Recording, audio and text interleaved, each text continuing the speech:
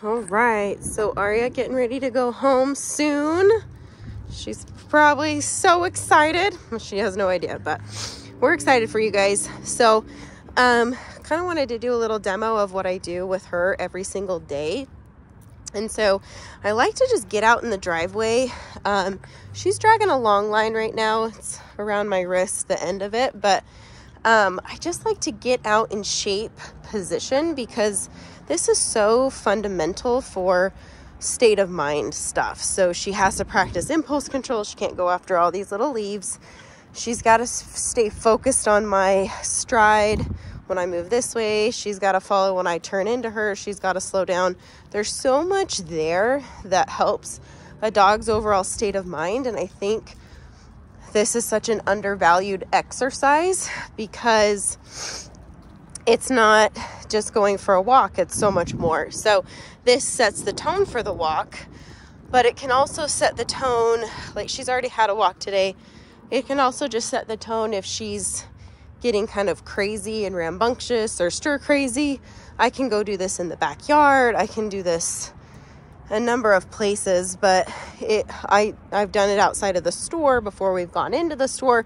I've done it in the store once we go into the store. So you kind of look a little silly cuz you're not really going anywhere. You're just moving in different directions and having the dog pay attention to you, but so foundational for getting a dog to listen, calming their state of mind down, getting them dialed in so, really foundational for everything. So, sometimes I'll do this before people come over when I have a, a younger, more immature dog. I can dial them in this way. And periodically, I might practice some downstays. Aria down. And I like this long line. I'm to send one home with you guys because I, you know, she's young, she's peppy, she's excited to meet people. I can use this like if I'm not paying attention, if I'm talking to a kid and, you know, she decides to get up and I'm not quick on the e-collar or quick to get her to fix it. I can, you know, use this as a safety, but I'm really honing in on this impulse control here of people walking by. Um, and our street can get a little busy. This is the through street. So we've got lots of teenagers in this neighborhood and some of them go down to get this get swig or there's like a beans and brews down there starbucks um, smiths. So some teenagers will just like walk down there and then sometimes i'll even see teenagers going to work to go work down there. And so we get a lot of traffic and then there's a park just on the other end of this street. And so we'll get traffic as people walk their dogs over to the park. So really good for working. The bus stop is also right here. This is this is the house of the bus stop. So we get a little bit of little bit of cra- you know crazy stimulating things from time to time. Aria heel Aria let's go. Heel good job.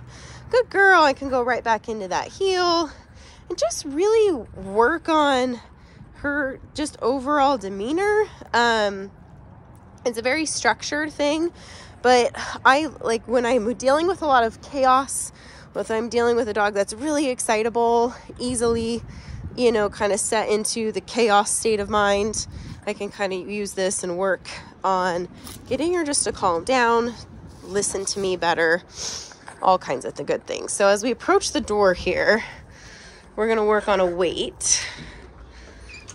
And I use this here as my little stopper. Wait. Good. We've got other dogs inside too, so we're to really work on impulse control. Okay, Aria. Good job. Yeah.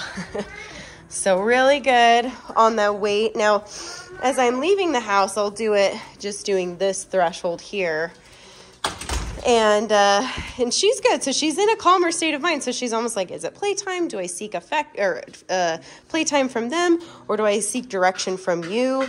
And so we're gonna go and just use these dogs as distraction work. So I can use Aria. Let's go. Use them as kind of more of a distraction and work a little bit on this. I don't have a ton of space here, but I can still utilize the space to work on focus. Good job. Are you down. Down. It's harder to down on the surface and it's harder to down on uh, in an excited state of mind. I'm gonna move this here and I'm gonna put her on place right here. Another dog's leash.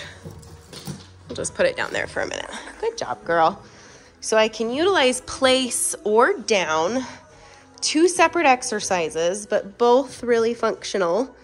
Um, down is harder because it's this full position of butt and elbows totally on the ground. Um, whereas place, they can, um, most of the time they'll lay down like this dog is here, but we can work a little bit on, um, like they can, they can get up and get comfortable. So it's not a huge deal. Aria, let's go. Place. Good job. She's not familiar with this one. This bed is new because it came with a different dog. So I'm just gonna help her in guiding her onto the place. If she's sniffing it to get information from it, that's fine. She's on the bed, I'm cool with it. But I can use this in the house um, as long as I'm, oh, okay, don't play at the dollhouse then. So I can use this long line to kind of give me some distance a little bit, but I wanna be careful with it because it, it can easily get wrapped up in stuff. And so um, I, I may not always do it if I can't supervise her. I might put her on a shorter leash. Um, I've even seen clients do like what they call tab leashes where they're like a foot long and they just kind of hang on the dog so it's an easy kind of grab. She's like, I don't know this place bed very well, but it's really good for, for them to do it on with different beds um, because it kind of adds a lot more depth to the command. So really, really good stuff. Aria, let's go. Let's go. Aria, come. Aria, come. Good girl. Good job. Aria, place. We can kind of get her to get comfortable by getting on and off of it. This is the kind of stuff I'll have you do at home. Aria, come. Because she gets used to, okay, now I'm supposed to get off. Then I get back on. Aria, place. And she can work on being sent from a distance no matter where the bed is. It's a new bed, so she's like, oh, this is weird. Good job. A client we picked up um, this little Frenchie, and it's actually his bed, but we're to use it right now. Good job, girl. Job. So yeah, she can work on this. I can add a little bit of a knock at the door. It's really good for all these dogs. There's a couple back there working on place. So doing so good. Good girl.